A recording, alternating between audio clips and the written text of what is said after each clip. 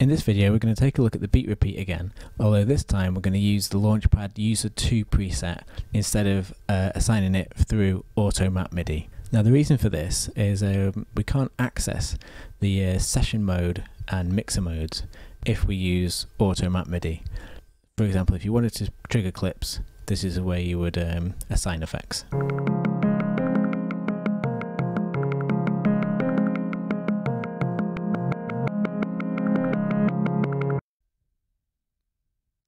So as you can see, we can um, access the session view, the uh, mixer view, so we can affect the faders. So all the basic presets that are automatically mapped um, when you install Launchpad, they're all still there.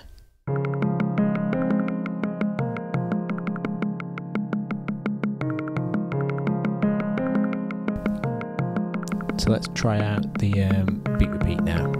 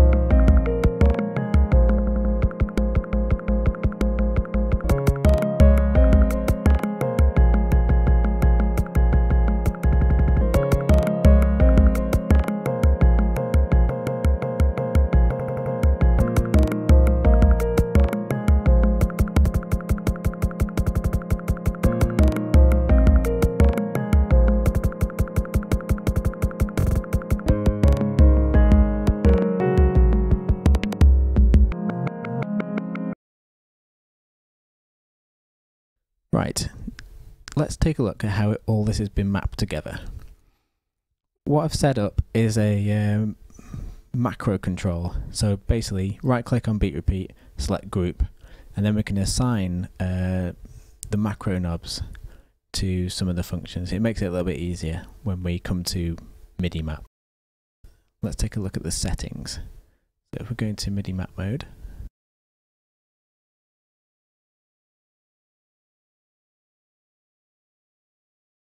take a closer look. So those are the settings. I'm just going to delete these uh, mappings and show you how I map them. So click on grid and then we want to, rather than select the entire range, just that particular range. And then we're going to click on the uh, repeat macro control. Now this one will, will select the full range. Okay.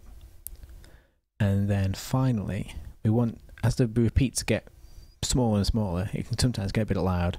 So again, map the smaller range to the repeats volume, and then we're going to set it at zero, and then as it gets higher, the volume turns down to about minus 5 dB. So now we'll uh, try it out, we can see all our values moving.